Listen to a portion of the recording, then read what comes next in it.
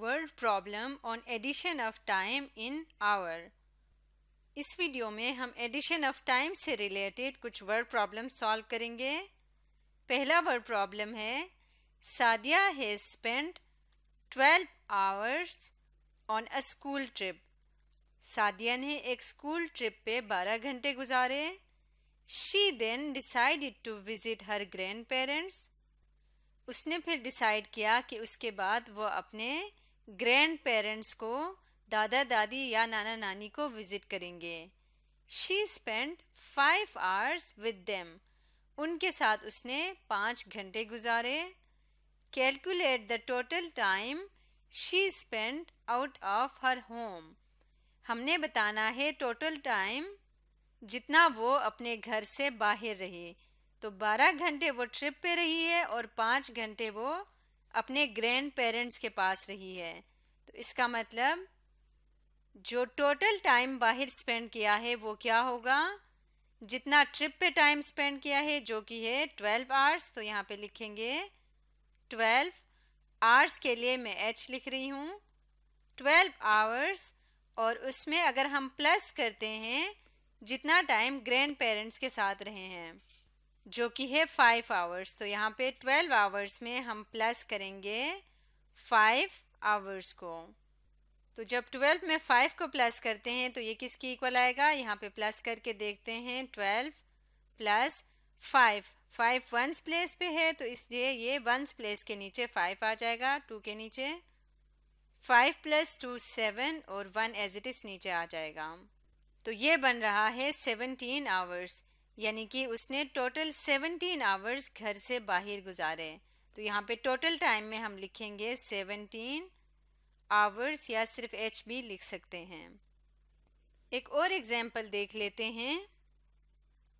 Ali is playing with his friends Ali अपने दोस्तों के साथ खेल रहा है। He started playing at seven o'clock उसने सात बजे खेलना शुरू किया।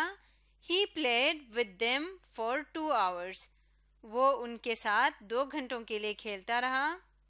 What was the time when he stopped playing तो जब उसने खेलना बंद कर दिया तो उस वक्त क्या टाइम हुआ था, ये हमने फाइंड करना है।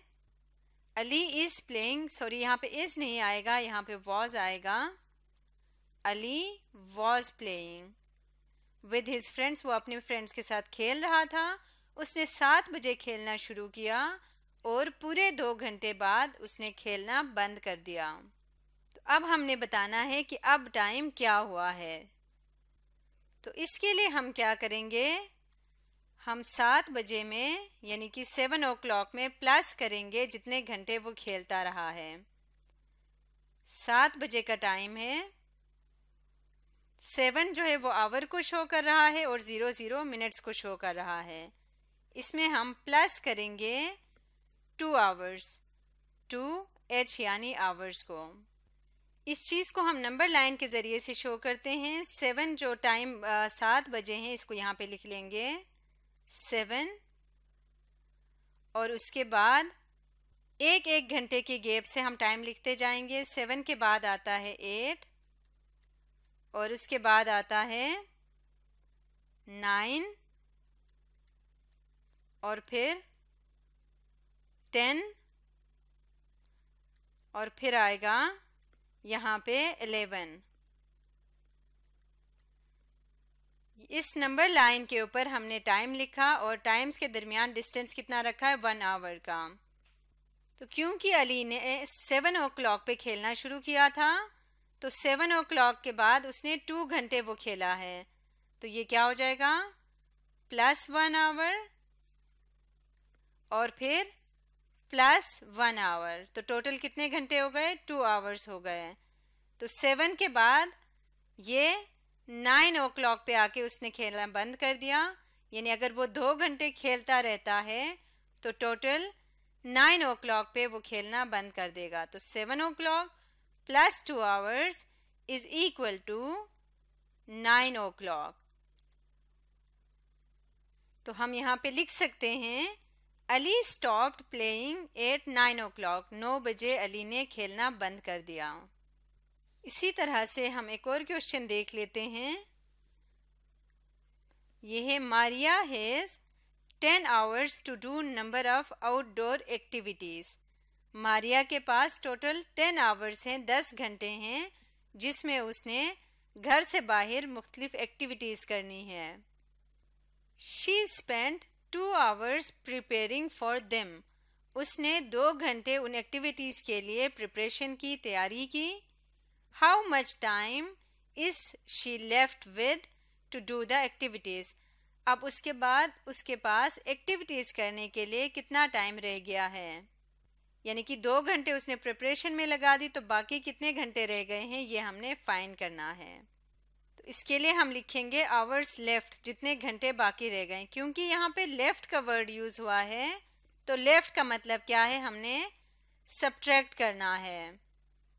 टोटल में से, यानी कि टेन आवर्स में से हमने सब्ट्रैक्ट करना है, जितना आवर्स स्पेंड हो चुका, जो कि है टू आवर्स एच का मतलब है आवर्स तो ten hours minus two hours इसको माइनस करेंगे तो आवर्स लेफ़्ट आ जाएँगे। यहाँ पे माइनस करके देखते हैं टेन में से टू को टू को यहाँ पे वंस प्लेस के नीचे लिखेंगे।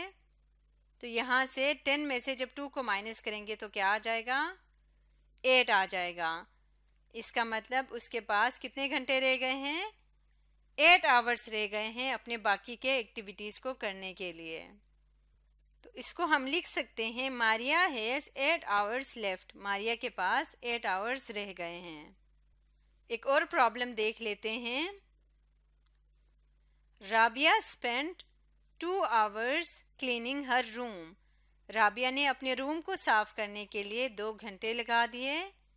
If she finished at eight o'clock, अगर आठ बजे उसने क्लीनिंग फिनिश कर ली, ख़त्म कर ली what time did she start cleaning तो हमने फाइंड करना है कि एग्जैक्टली exactly किस टाइम पे उसने क्लीनिंग स्टार्ट की थी, कि जबकि उसने दो घंटे क्लीनिंग की है तो आठ बजे सफ़ाई का काम ख़त्म हो गया है। तो इसके लिए हम नंबर लाइन लेके आते हैं और स्टार्ट यहाँ पे इस तरफ़ से स्टार्ट करेंगे। यानी कि जो एंड टाइम है, वो हमें ये रखना होगा जिस टाइम पे फिनिश हो गया है तो वो हम रखेंगे eight o'clock. Eight o'clock पे फिनिश हो गया है। तो हम एट से पीछे बैकवर्ड काउंटिंग करेंगे। यहाँ पे लिखते हैं सेवन, एट से पीछे सेवन आता है, सेवन से पीछे सिक्स। वन वन आर के गैप से हम बैकवर्ड काउंटिंग करते जाएँगे। सिक्स से पीछे है फाइव और फाइव से पीछे है फोर। इसके बाद क्योंकि एट ओ क्लॉक पे उसने क्लीनिंग फिनिश की थी और क्लीनिंग कितनी देर तक वो करती रही है? दो घंटों तक। तो यहाँ से हम पीछे जाएँगे। वन आवर एट से वन आवर माइनस करेंगे माइनस वन आवर और यहाँ से माइनस वन आवर तो ये वन आवर के टू जम्प्स मिलके टोटल कितना बनता है? टू आवर के वन जंप के बराबर होता है। तो जब एट ओ क्लॉक से पीछे की तरफ़ जाएँ, दो घंटे पीछे तो यहाँ पे आता है सिक्स ओ क्लॉक यानी कि उसने क्लीनिंग कितने बजे स्टार्ट की थी?